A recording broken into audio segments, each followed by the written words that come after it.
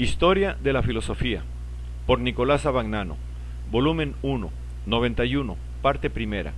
Filosofía Antigua, capítulo 12, La Escuela Peripatética, 87, otros discípulos de Aristóteles. Al lado de Teofrasto, el más importante de los discípulos inmediatos de Aristóteles es Eudemo de Rodas, autor de numerosos escritos de historia de las ciencias. Se llama a Eudemo el más fiel de los discípulos de Aristóteles. Fue el editor de la obra moral de Aristóteles, que precisamente se indica con su nombre, Ética Eudemia, y que algunos consideran como obra propia.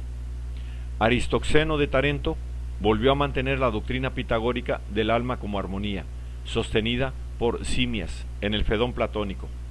Sus simpatías por el pitagorismo se manifiestan también en el interés que tuvo por la música a la cual dedicó una obra titulada Armonía, de la que nos quedan fragmentos.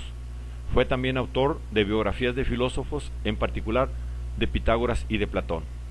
Dicearco de Mesina afirmó, en oposición a Aristóteles y a Teofrasto, la superioridad de la vida práctica sobre la vida teorética. En su Vita de la Grecia, de la cual nos quedan pocos fragmentos, delineó una historia de la civilización griega. En el Tripolíptico sostuvo que la mejor constitución es una mezcla de monarquía, aristocracia y democracia, como la que se había desarrollado en Esparta.